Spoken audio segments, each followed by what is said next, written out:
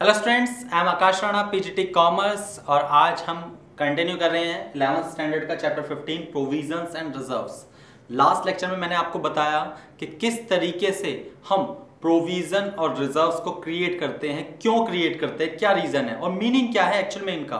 तो प्रोविज़न और रिज़र्व के मीनिंग यानी इंट्रोडक्शन से आगे बढ़ते हुए हम समझने वाले हैं आगे की टर्म्स को आज।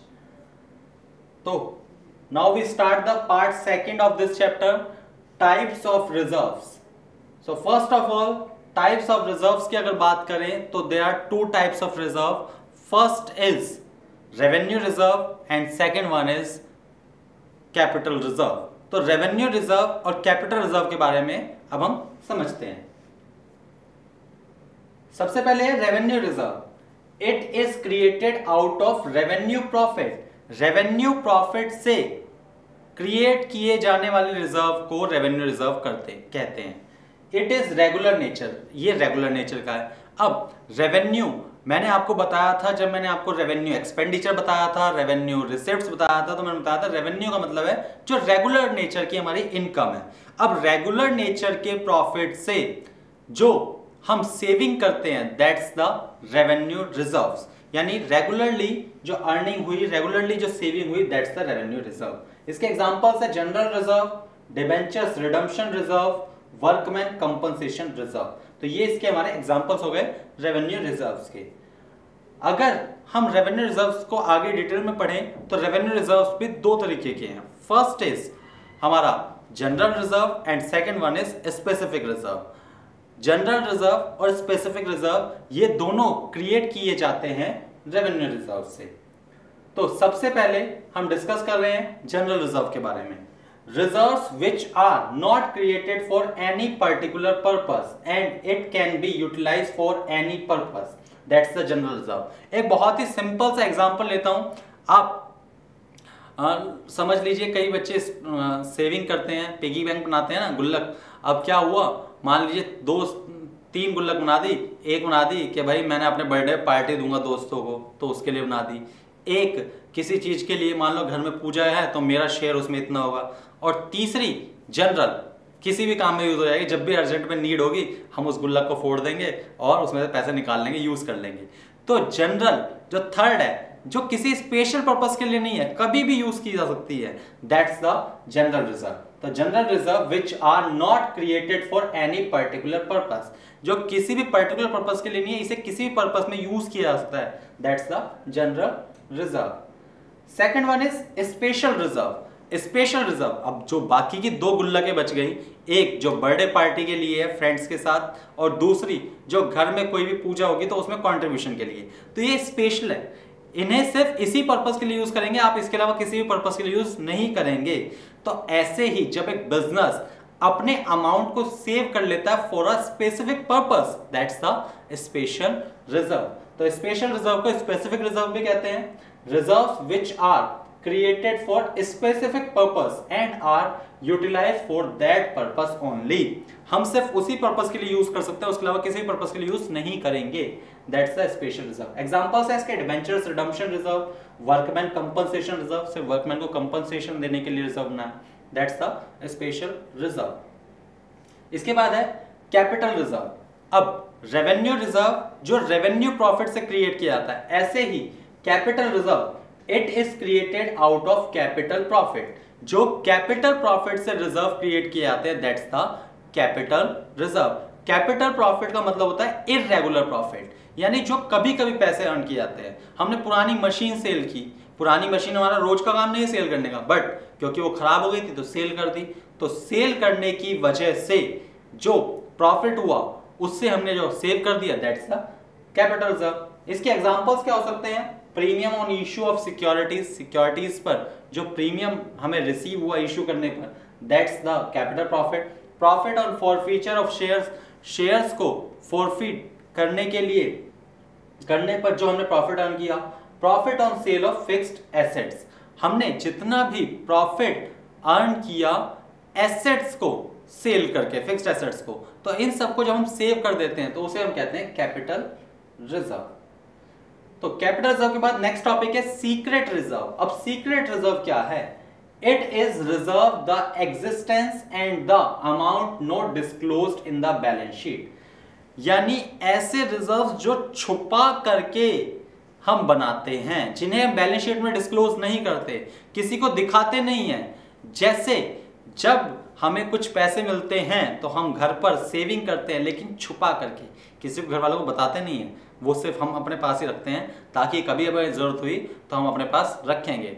कई बार तो बॉयज़ में ये भी होता है कॉमन कि वॉलेट में भी कुछ ऐसी पॉकेट्स होती हैं, वहाँ पर सेव करके रखते हैं कुछ अमाउंट जो ऐसी जगह यूज़ कर लेंगे जब हमें बहुत ज़्यादा नीड होगी और इमरजेंसी होगी तब। तो ये क्या है? ये सीक्रेट रिजर्व्स हैं। यानी जब सीक्रेटली सेविंग की जाती है, ऐसे ही बिज़नेस पॉइंट ऑफ़ व्यू से देखा जाए तो बिज़नेस भी अपने प्रॉफिट का कुछ पार्ट सीक्रेटली सेव करता है। That's the secret reserve it is also known as hidden reserve इन्हें हम हिडन रिज़र्व भी कहते हैं। इसके बाद नेक्स्ट है रिज़र्व फंड अब रिज़र्व फंड क्या है? अभी तक हम रिज़र्व पढ़ रहे थे। अब रिज़र्व फंड क्या? तो मैंने अभी आपको बताया रिज़र्व मतलब सेविंग है। अब जब उस सेविंग को इन्वेस्ट कर देंगे हम आउटसाइड सपोज़ मेरे पास पैसे रखे हुए हैं, मैंने पाँच हज़ार रुपए सेव कर लिए, मैंने सोचा इस पाँच हज़ार रुपए को मैं कहीं डिपॉजिट कर देता हूँ, ताकि दो महीने में, तीन महीने में, चार महीने में मुझे एक्स्ट्रा पैसे मिल जाए इंटरेस्ट पर मिल जाए, या बिज़नेस पॉइंट ऑफ़ व्यू से सोचा जाए तो बिज़नेस के पास मान लीजिए पाँच लाख रुपए के रिज़र्व है, और उसने सोचा कि मैं इसको रिज़र्व को इन्वेस्ट कर देता हूँ आउटसाइड द बिज़नेस उसने गोल्ड बॉन्ड्स परचेज कर लिए, किसी कंपनी के शेयर्स परचेज कर लिए, किसी प्रॉपर्टी में इन्वेस्टमेंट कर दी गोल्ड में इन्वेस्टमेंट कर दी। तो इस तरीके से उसने क्या किया? इन्वेस्ट कर दिए, क्योंकि रिज़र्व को आउटसाइड द बिज़नेस इन्वेस्ट किया जा सकता है। तो जब हम रिज़र्व को इन्वेस्ट कर देते हैं outside the business that's the reserve fund तो मीनिंग समझ लेते हैं reserves are invested in outside securities and such securities are are mark for a particular purpose denoted by the reserve the reserve is known as reserve fund जब हम reserve को securities में save कर देते हैं दैट्स अ रिज़र्व फंड इसके बाद last जो ये चैप्टर हमारा चल रहा है प्रोविजंस एंड रिजर्व्स तो प्रोविजंस एंड रिजर्व्स में जो मेन पॉइंट है, जो हमें पढ़ने वाला था, वो हमने अभी तक पढ़ लिया। और सबसे इंपॉर्टेंट क्वेश्चन है जो कई बार पेपर में राइज होता है that's the difference between provisions and reserves तो सबसे पहले हम प्रोविज़न एंड रिज़र्व के नेचर की बात करें तो प्रोविज़न बनता है कंपलसरी है, इसलिए चार्ज अगेंस्ट प्रॉफिट है। और ये तभी होगा जब हमारे पास सेविंग होगी that's the appropriation of profit अगर हम पर्पस की बात करें तो प्रोविज़न जो है मीट अन मीट नॉन लाइबिलिटी और कंटिजेंसीज जो लाइबिलिटी हमें पता है, उन लाइबिलिटीज की पेमेंट के रिगार्डिंग जब हम कुछ अमाउंट सेव करते हैं या कुछ अमाउंट सेट असाइड करते हैं दैट्स द प्रोविज़न लेकिन रिजर्व्स किस लिए बनाए जाते हैं? Strengthen the financial position and to meet unforeseen liabilities और लॉस यानी फ्यूचर में होने वाले लॉस जो हमें पता नहीं है और अपने बिज़नेस की फाइनेंशियल पोजीशन को स्ट्रॉन्ग करने के लिए हम जो अमाउंट सेट असाइड करते हैं that's the reserves effect on profit profit पर क्या इफ़ेक्ट पड़ता है? तो सबसे पहले provision debited in profit and loss account इसे प्रॉफिट एंड लॉस अकाउंट में शो किया जाता है। तो ये प्रॉफिट को कम कर देता है रिड्यूस कर देता है। लेकिन reserve debited in profit and loss appropriation account मैंने आपको बताया अभी कि अप्रोप्रिएशन अकाउंट एक ऐसा अकाउंट है जिसमें हम प्रॉफिट और लॉस के डिस्ट्रीब्यूशन को शो करते हैं। तो profit and loss appropriation account में इसे डेबिट करते हैं तो इससे प्रॉफिट को इफ़ेक्ट नहीं होता। क्योंकि ये तो सेविंग है।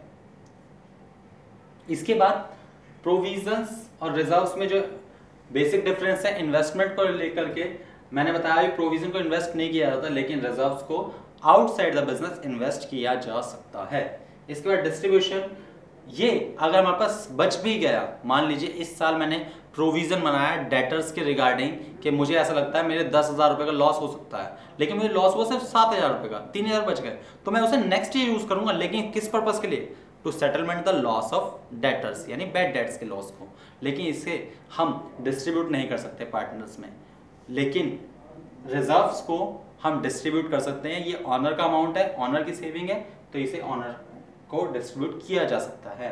प्रेजेंटेशन की बात की जाए तो ये लाइबिलिटीज साइड शो होता है बैलेंस शीट में और इसे कहा जाता है करंट लाइबिलिटीज और ये भी लाइबिलिटी साइड शो होता है बैलेंस शीट में और इसे कहा जाता है रिज़र्व एंड सरप्लस ये लाइबिलिटीज के साथ साथ एसेट्स में भी माइनस कर सकते हैं। जैसे प्रोविज़न बनाया हमने डेटर्स के रिगार्डिंग डेटर्स थे सेवेंटी थाउज़ेंड के।